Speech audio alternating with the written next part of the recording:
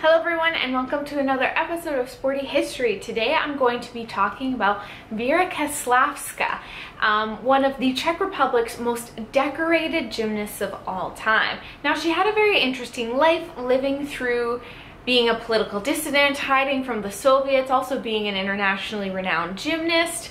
Um, so I'm gonna get into her story with a little bit about um, before she became an international athlete. So Caslavska was born in 1942 in Prague, where her father owned a grocery store that was seized by the communist government only a few years after her birth. So from very early on, she wasn't a big fan of them. She was a very talented gymnast and was one of the first to introduce a very strong acrobatic and athletic style to gymnastics, of which had previously been much more dance orientated. She participated at her first international gymnastics competition at the 1958 World Artistic Gymnastics uh, Championships, where she would earn a silver with the team um, with Czechoslovakia. She later participated at the 1960 Olympic Games and earned a silver medal again with the Czechoslovak team. At the 1964 Olympics in Tokyo, um, she won a gold medal in the all-around, the balance beam, and the vault, along with a silver in the team event. At the 1966 World Champions, she would win gold with her team defeating the Soviet Union, who had been dominating that event for a number of years. She would later get a perfect score of 10 at the European Championships in 1967. Heading into 1968, which was an Olympic year, she was considered a big threat for the gymnastics competition and was expected to do fairly well in the podiums throughout all of the events even to dethrone many Soviet athletes who had also been pretty heavy competition throughout her whole career. However, she ran into a couple issues with the Soviets that same year. Now, I'm to go back to just what is happening in Czechoslovakia in 1968 um, to kind of establish why she became a social dissident, basically. So on January 5th, 1968, Alexander Dubček was elected first secretary of the Communist Party of Czechoslovakia. And I want to reiterate, he was elected. He didn't take any power, didn't do any coup, he was elected. However, he was also one of the leaders of the Prague Spring, which was an attempt by Dubček, amongst many other people, um, to bring many more rights to Czechoslovakia and the Czechoslovak people, including the loosening of travel, speech, and media restrictions, also being able to vote in elections and have democracy and do democratic processes. Well, that wasn't controlled by the Communist Party of the Soviet Union. Much of this, including the Communist Party and communism in general, had been forced on the country since the end of World War II, where unfortunately Czechoslovakia was stuck behind the Iron Curtain. Now, Vera was strongly opposed to the Soviet slash communist government and its influence in Czechoslovakia, and was a vocal and large supporter of the Prague Spring that was happening at the time. She was vocal about her opposition and worked with other people who opposed this government and who of were the same mind, including um, working with writers artists, other athletes, intellectuals, all of whom were in big support of the Prague Spring. The spring was fairly successful, albeit for a short period of time. Later that year, Czechoslovakia was invaded by five Warsaw Pact countries, the Soviet Union, Poland, Bulgaria, East Germany, and Hungary, albeit spearheaded by the Soviet Union. The invasion was meant to stop the Prague Spring and to strengthen the Communist Party of Czechoslovakia's hold on over the country, which was of course heavily allied, if not just completely owned by the USSR Soviet Party. Now, there was a violent but mostly non-violent resistance during the invasion led by the Czechoslovak people, but the massive army quickly took over the country and re-established an ironclad communist ruling that was up to the Soviet Union standard. Now, as someone who is very outspoken about the Soviets, communism, and the invasion and the restrictions of rights on all our citizens, amongst many other things, Vera became a dissident, and the Soviets did not like dissidents. So due to the invasion, she lost access to her training facilities and coaching staff. And also to avoid being arrested, she ran away and hid in the mountains. She hid in the forests of Morava and a small town in Šumperk.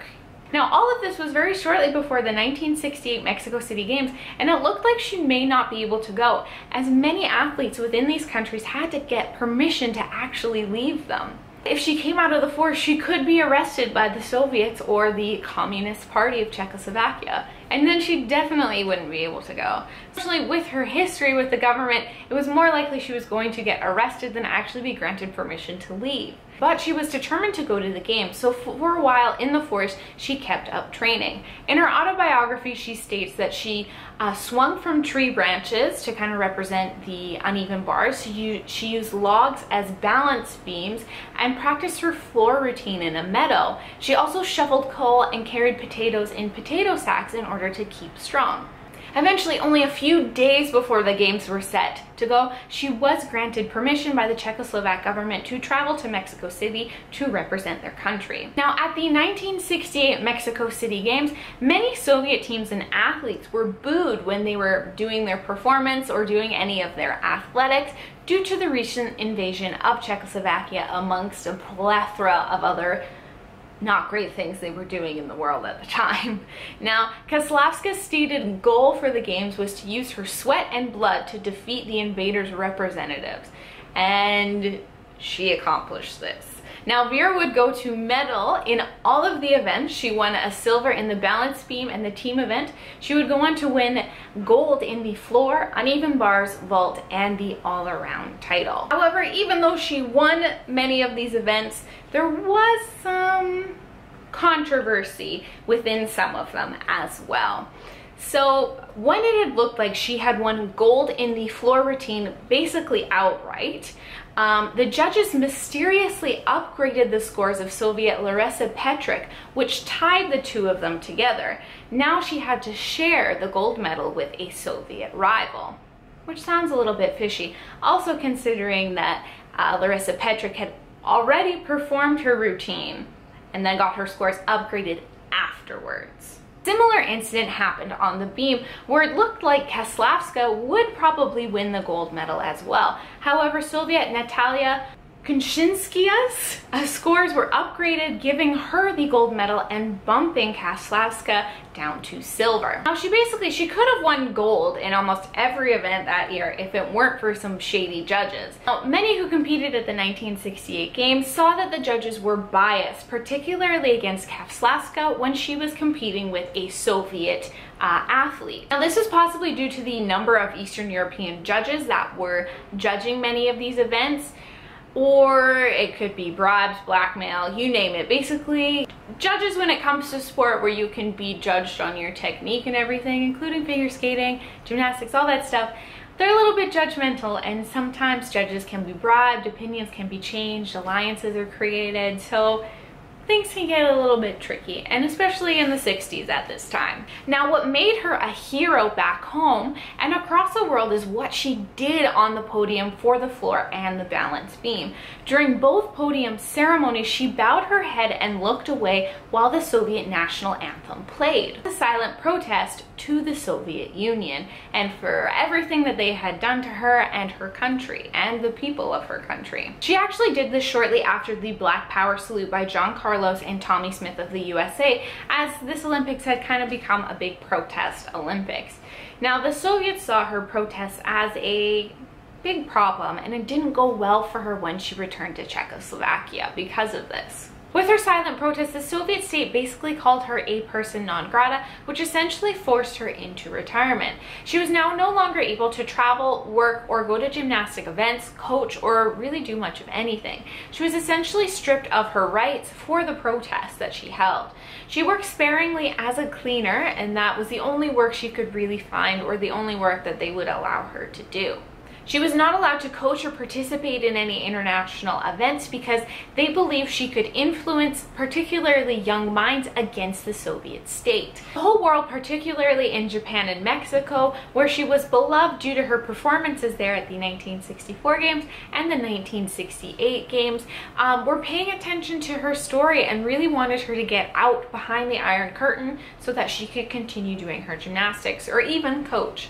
She was restricted like this for 20 21 years until the 1989 Velvet Revolution, which ended the Communist Party's power in Czechoslovakia, that many of her rights were at least somewhat granted back to her. Now, it would not be until the IOC got involved that Vera was allowed to coach in her home country and was allowed to travel to the Olympic Games as well. They basically told the Czechoslovak government to let her coach or else they wouldn't let them compete at the games at all. Now, once that was settled, she was able to um, start coaching gymnastics, particularly for children. Along with coaching, she would also hold some powerful positions within the sporting community. Also at this time, Czechoslovakia had split into two, Slovakia and the Czech Republic. She worked with the newly democratically elected president of the Czech Republic as an advisor on sport and cultural issues. She later became the president of the Czech Olympic Committee and joined the International Olympic Committee as a member. She disappeared from public life for a while after her husband passed away, um, but when she came back into public life, she continued to coach gymnastics. Throughout her career between 1959 and 1968, she won 22 international gymnastics titles titles, which included 11 European uh, gymnastics titles, four world championship titles, and seven Olympic gold medals. She's still considered one of the most decorated Czech athletes throughout the country's history. She's also one of only two women to win the gold in the all-around event at two consecutive Olympic Games. She would go on to coach many of the Czech Republic's rising stars in gymnastics. She died in 2016 at the age of 74 due to cancer. Her legacy in gymnastics and also as a hero for her country lives on. She is known as one of the country's best athletes and a leader in the fight to get Czechoslovakia, the Czech Republic and Slovakia out from under the thumb of the Soviet empire? Maybe call it an empire? Maybe You could maybe call it an empire. The Soviet Union anyway. So I hope you enjoyed watching this video. Thank you for sticking around. If you liked it, you can always give it a thumbs up. If you want to see more stories about female athletes or sport history in general, you can always subscribe. But thank you for sticking around. Have a good day.